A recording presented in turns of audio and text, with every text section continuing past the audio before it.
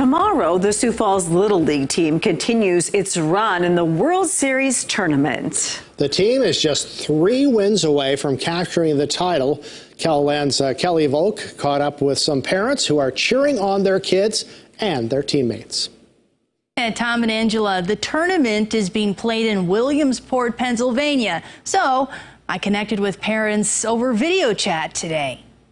Chris Fox's hotel room in Pennsylvania is home for right now as he and his wife follow their son Brayson and his teammates in the Little League World Series tournament. We couldn't be more happy for him and this team. Um, every single kid on this team is out for each other. So they support each other. Families will be back in the stands tomorrow as Sioux Falls takes on California.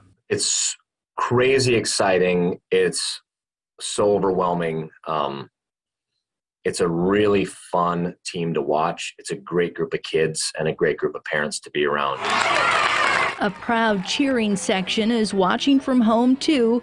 Families are thankful for all the support. We get lots of uh, people calling or emailing or texting, uh, Snapchat, all the social media is is really uh, really delightful to, to have that back home.